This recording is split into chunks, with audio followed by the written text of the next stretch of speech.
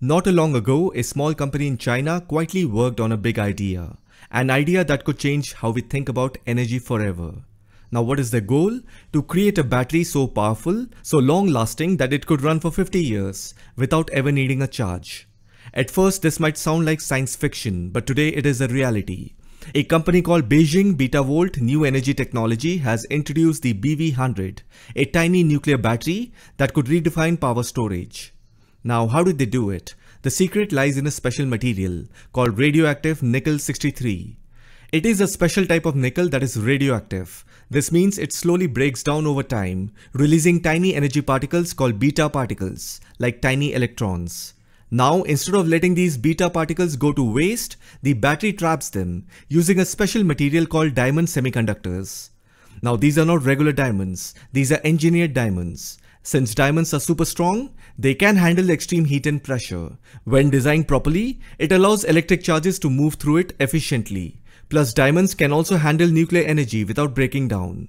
Now these diamonds are super thin and act like a solar panel, but instead of capturing sunlight, they capture the beta particles from nickel 63. When the beta particles hit the diamond, they create a tiny electric current. This current is collected and used for powering small devices just like a normal battery. Since nickel 63 decays very slowly, the battery can keep generating electricity for decades without needing a recharge. Now over time, the nickel 63 turns into stable copper, which is completely safe and does not require special disposal. The BV100 is as small as a coin, but its impact is huge. It can produce power for 50 years without losing strength.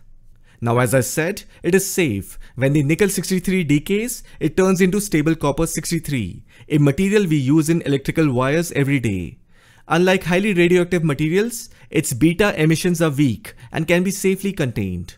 Now why is this important? Think about how many times we charge our phones, laptops, or even electric cars. Imagine a future where that is not necessary. The energy density of this nuclear battery is 10 times greater than lithium batteries, meaning it can store much more power in a smaller space. Right now, the BV100 only produces 100 microwatts at 3 volts, which is not enough for phones or cars. But the company Betavolt is already working on a 1 watt version, which could power drones, small medical devices, implants, AI systems, and even satellites. Now, if you see, there is a global race. Betavolt's achievement has caught the world's attention.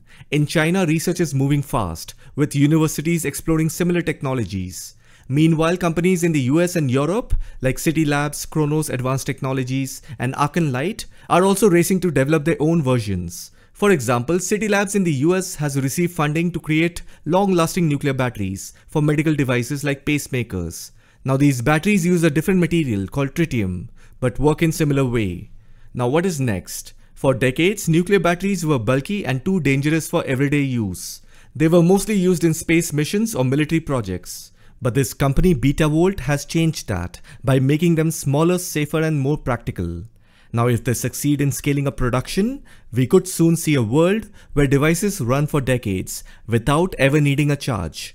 And that's not just an exciting idea, it's a revolution in energy.